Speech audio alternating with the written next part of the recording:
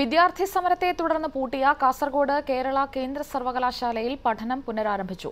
വിദ്യാർത്ഥികളുടെ പ്രതിഷേധ സമരങ്ങൾ ഇല്ലാത്തതിനാൽ നിലവിൽ സർവകലാശാല പോലീസ് സംരക്ഷണം തേടിയിട്ടില്ല. പ്രതിഷേധ സമരങ്ങൾക്കിടെ ഈ മാസം ഒൻപതിനാണ് സർവകലാശാല അടച്ചുപൂട്ടിയത്. പന്ത്രണ്ട് ദിവസം കഴിഞ്ഞാണ് ക്യാമ്പസ് വീണ്ടും തുറക്കുന്നത്. ആദ്യ ദിവസം പ്രതിഷേധങ്ങൾക്കോ സമരങ്ങൾക്കോ വിദ്യാർത്ഥികൾ മുതിർന്നില്ല. വിദേശത്തായിരുന്ന വൈസ് ചാൻസലർ ഇന്ന് മടങ്ങിയെത്തുന്നുണ്ട്.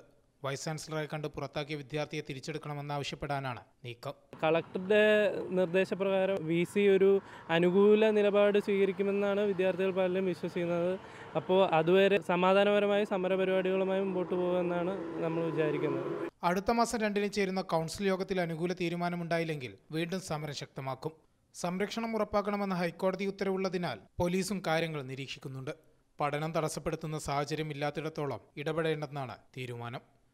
ഏഷ്യാനെറ്റ് ന്യൂസ് കാസർഗോഡ്.